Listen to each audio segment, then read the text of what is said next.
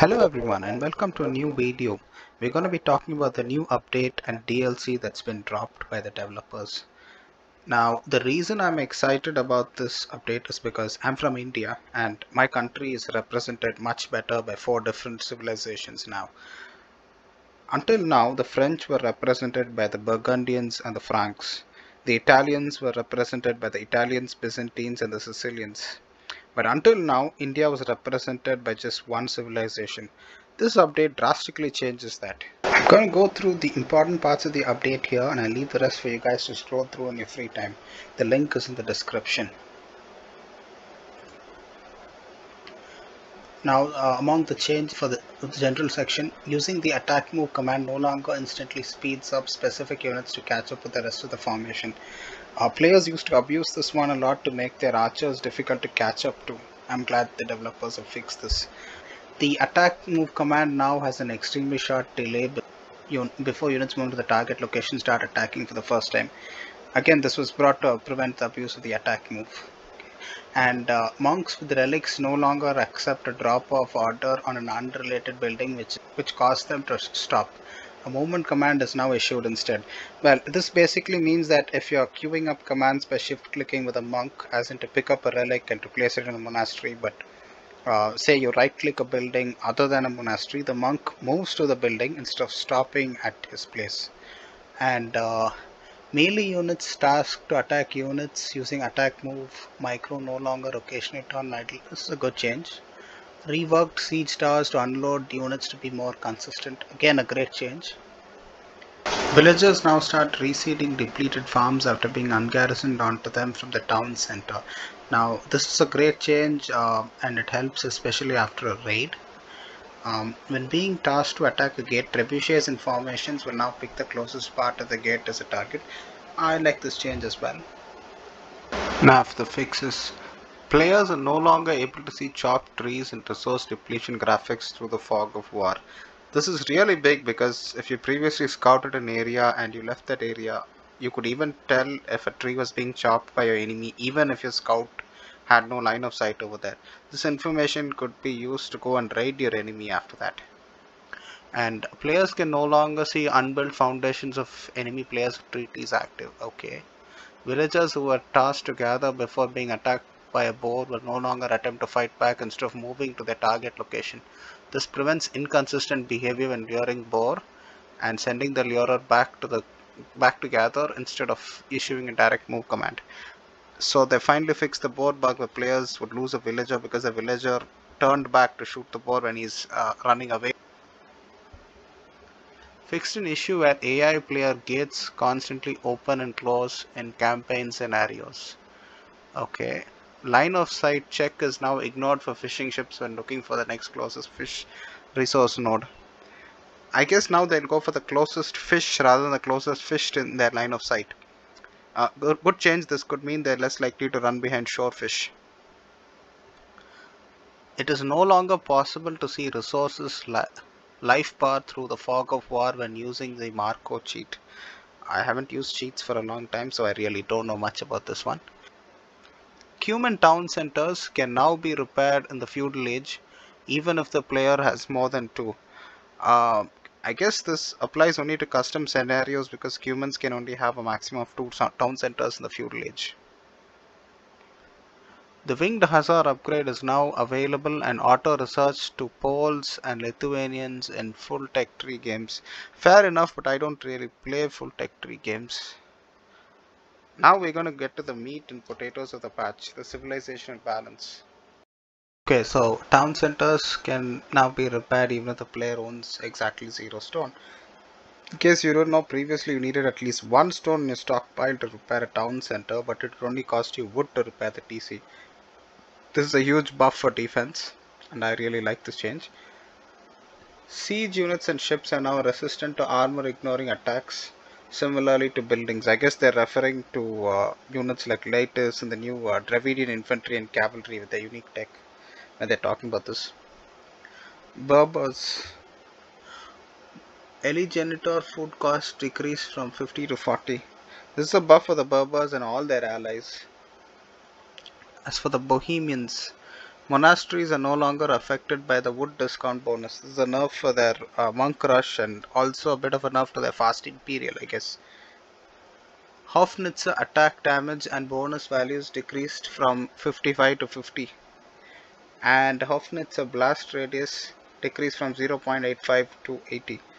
Um, first, uh, they've nerfed the Houfnice's attack and they've nerfed their attack bonus versus ships, Hussite wagons, fishing ships and other stone defenses. Previously they used to do 55 plus 55 damage to them. Now they do 50 plus 50 which is a bit of a nerf. And now they have nerfed the blast radius. So this reduces their ability to take out large masses of units. Now this used to be really annoying on closed maps like Amazon Tunnel, Black Forest and Michi where a huge mass of siege onagers would be taken out by a few Houfnices. Now onto the Burmese. New civilization bonus. Battle elephants have plus 1 melee armor and plus 1 pierce armor. This is a buff. Howdah effect reduce from uh, 1 slash 2 to 1 slash 1 armor. Uh, okay, so basically they end up with 1 extra melee armor and the tech has been nerfed. Manipur cavalry cost changed from 650 food and 400 gold to 400 food 400 gold. This is a huge buff. Arambai train time changed from 21 seconds to 18 seconds. Another buff. Cuman mercenaries now enables training 5 free elite Kipchaks per castle owned including castles built at a later time. This is a huge buff. Because if, a, if each teammate has 5 castles each of them can train 25 Kipchaks. And it doesn't matter even if they build their castles later Mercenary Kipchaks no longer require the Imperial Age to be available for Cuman players' allies. Mercenary Kipchak train time changed from 20 seconds to 12 seconds. So overall they're buffing Cumans when it comes to team games. Ethiopians no longer receive bonus resources at the game start in games with feudal or later starting age. I guess the developers are targeting um, their Empire Wars game Hindustanis. They were previously known as the Indians and got a few changes in their DLC like a new unique unit and some other buffs. Imperial Camel Rider cost decreased from 1200 food, 600 gold to 1000 food, 500 gold. This is a buff because it lets them get their Imperial Camel upgrade much sooner. And Imperial Camel Rider attack damage decreased from 9 to 8. It's a slight nerf to their base attack to compensate for the cheaper upgrade but remember that they also do 18 damage to cavalry as a bonus. So minus 1 attack does not amount to much when they're fighting against cavalry. Incas team bonus replaced with spearmen and skirmishers plus 2 line of sight. This new team bonus is definitely better than the old one. I guess this would help civilizations like the britons spanish byzantines and the mayans. Khmer Ballista Elephant attack increased from 8 to 10 for the base version and 9 to 11 for the elite version. This is a really bad change and it makes the Khmer kind of overpowered. Koreans War Wagon base wood cost increased from 115 to 125.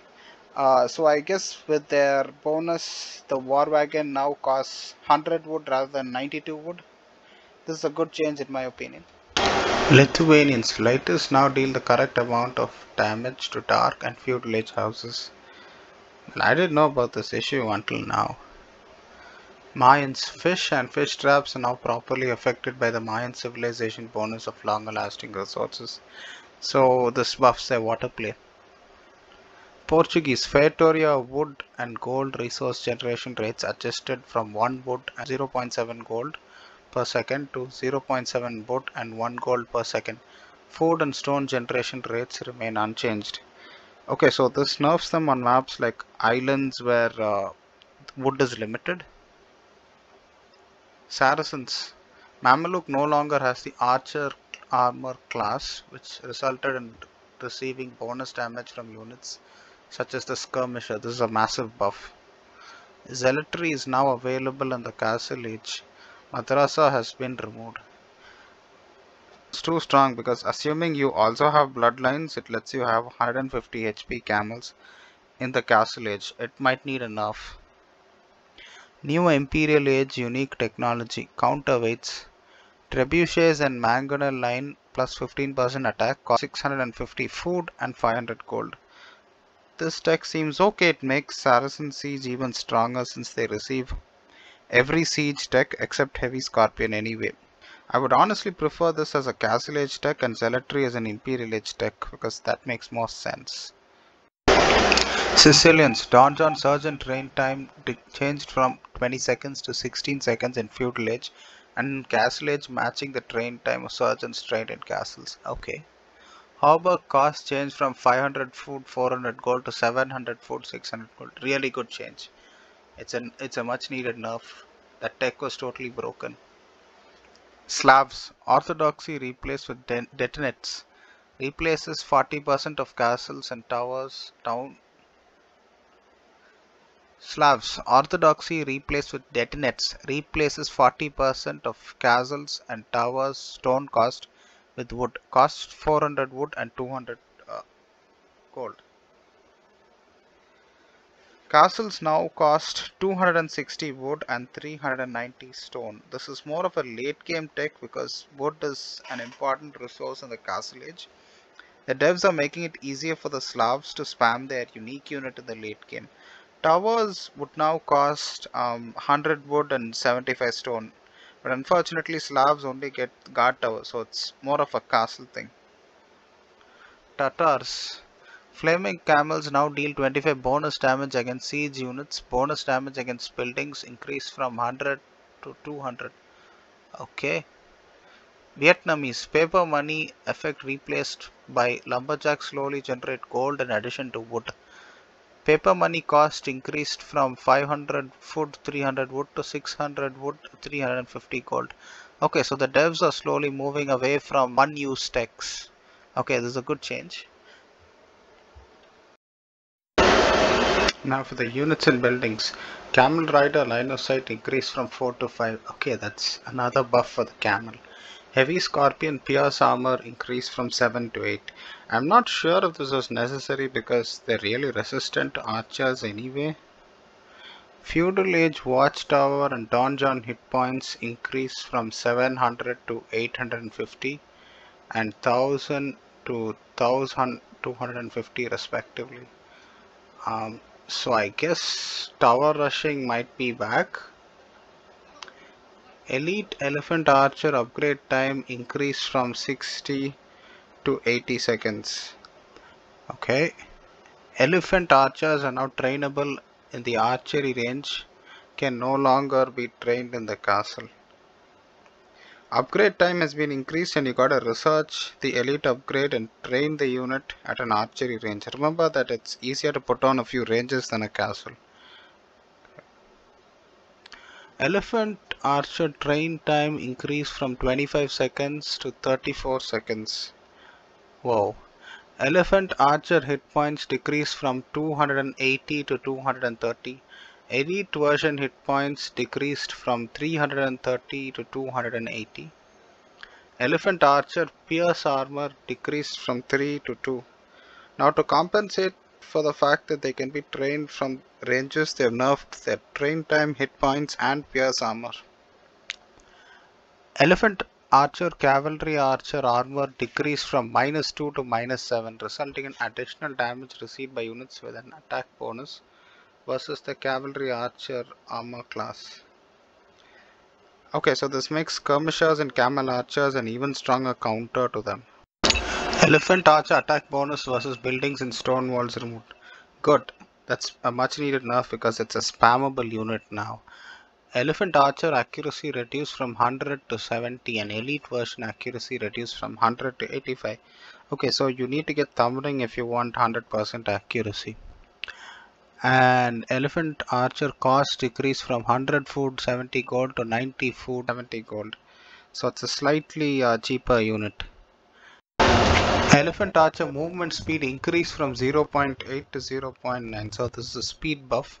Skirmishers now deal zero bonus damage versus cavalry archer armor class resulting in additional damage when attacking units with negative values of cavalry archer Previously, non-elite skirmishers didn't have an attack bonus versus the cavalry archer class, so this is done to make the non-elite skirmisher a good counter even to the elephant archer. Thank you so much for watching. If you have any feedback, I would appreciate it if you post it down in the comment section. This is the first time I'm doing this kind of a video, so uh, any feedback is appreciated.